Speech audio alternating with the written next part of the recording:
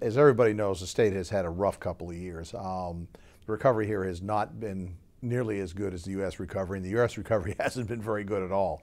Um, you know, we, we lost 8.7 million jobs nationally. We've got about 52, 53% of those jobs back so far. And if I remember correctly, that was the number one topic in the election. Both candidates agree we needed to have, both had needed to have a plan to try to improve job growth. Uh, in North Carolina, we lost 333,000 jobs. We haven't even got a third of them back. So we're doing a lot worse than, than the national uh, economy is doing in terms of producing jobs, and yet it's not a conversation here. We don't even, it flies under the radar. We have the fifth worst unemployment rate of any state in the nation still. We've been had that on and now for about a year, uh, being in the top five in terms of high, high unemployment rate.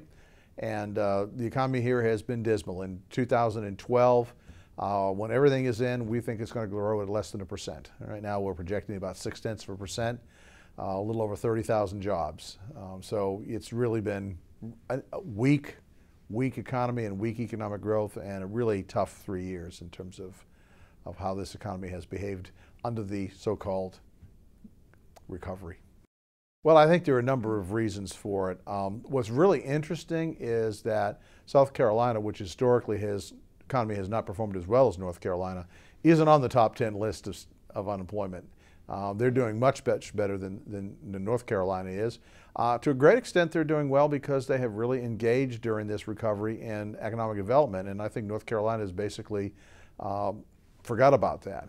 I think a second issue is that when you compare the two states' tax levels, tax rates, um, we're about a percent higher both in sales and income tax than is South Carolina. And of course, we have a corporate income tax, which doesn't help any either.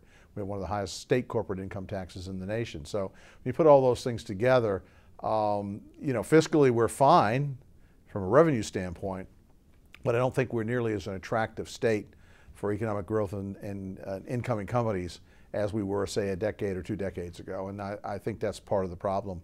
Um, and I think that we really need to address it. I, I think the biggest issue is that we don't seem to be addressing it. We seem to be behaving like, well, you know, our economy is not doing very well, but nobody's economy is doing very well. And that's really not the case. We're amongst the worst performing economies in the nation and have been for several years now.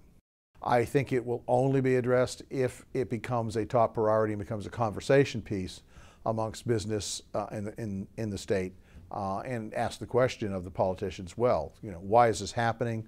We try to figure out what's different here and why we haven't performed as well.